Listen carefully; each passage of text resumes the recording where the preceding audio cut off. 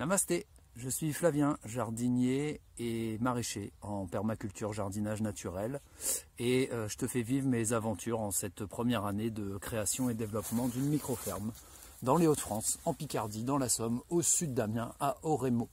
Voilà, une euh, micro-ferme sur 2000 m2, minimaliste, où je fais tout à la main. Voilà. Aujourd'hui, j'ai envie de te faire partager comment je protège mes cultures, comment je les force un peu. Voilà, on est à la mi-mars et euh, en tant que maraîcher, euh, j'ai des objectifs de production. Donc euh, voilà, là je viens de faire, tu vois, deux planches, épinards, pois, carottes. Et je vais te montrer comment je fais mon, forçage. Donc c'est du maraîchage sur sol vivant. Hein.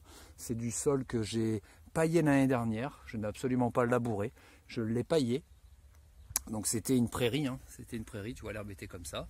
Donc j'ai tout paillé, euh, ça fait un an.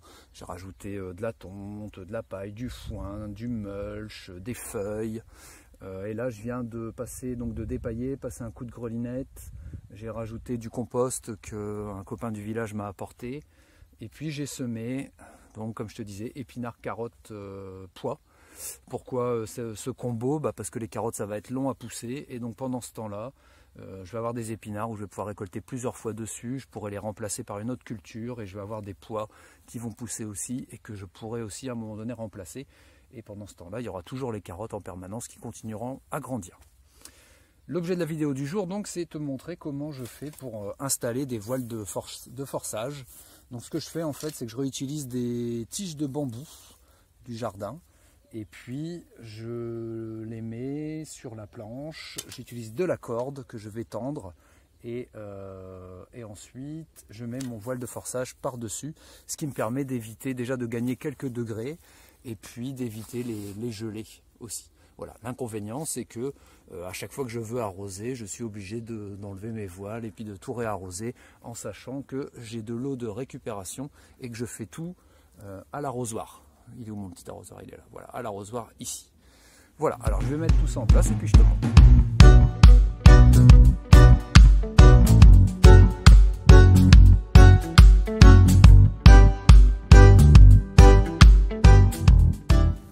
Alors première étape, je plante mes tiges de bambou, j'en utilise trois, tu vois, sur la longueur de la planche. Et ensuite ce que je vais faire, je vais venir mettre ma corde euh, et je vais relier mes trois tiges de bambou avec la corde. Pourquoi je, fais ça? Euh, Tout simplement parce que ça va éviter au voile de toucher le, sol.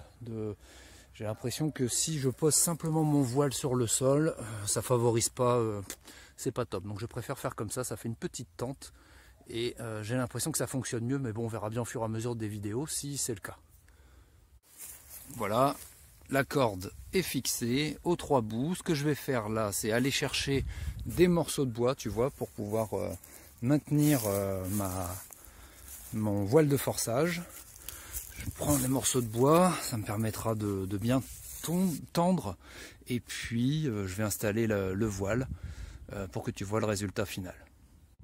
Bon, voilà le résultat. Une fois que tu as tout bien installé, L'avantage, c'est que ça crée un microclimat au niveau de, tes cultures et ça protège du gel. Donc microclimat, ça fait un effet serre. Donc tu gagnes quelques degrés la journée au soleil et la nuit, ça conserve quand même pas mal la chaleur. Voilà. Bon, c'est un système euh, avec ses défauts. Par exemple, euh, si tu prends, si tu fais pas attention, s'il y a du vent, bah c'est très fragile, donc ça va se déchirer très facilement. Alors que ça se déchire, c'est pas très grave, c'est pas la cata. C'est un peu gênant dans le sens où ça va t'obliger à bah, le changer euh, plus souvent que, ce qu'on voudrait, à la fois au niveau économie financière, puis aussi pour éviter quand même d'utiliser trop de matériaux, euh, puisque euh, l'idée de la permaculture, c'est quand même d'utiliser au maximum bah, tout ce qu'il y a sur place et d'éviter de ramener des produits industriels. Mais bon, ça aide bien quand même dans les Hauts-de-France en cette saison, c'est quand même bien pratique. Voilà pour la petite explication. Bon, on va voir un petit peu sur la durée ce que ça vaut. J'ai un peu peur quand même que ça s'abîme, tu vois, au sommet. Il faudra peut-être que je réfléchisse à, améliorer le système pour qu'au niveau du sommet, euh, ça ne se déchire pas. J'espère que cette vidéo t'a plu, qu'elle t'a été utile. N'hésite pas, tu likes, tu partages. Et puis, euh, bah, écoute, je t'invite à, me suivre, à suivre mes aventures euh, sur ma page Facebook et puis bien sûr sur la chaîne. Je te dis à très bientôt. Namasté.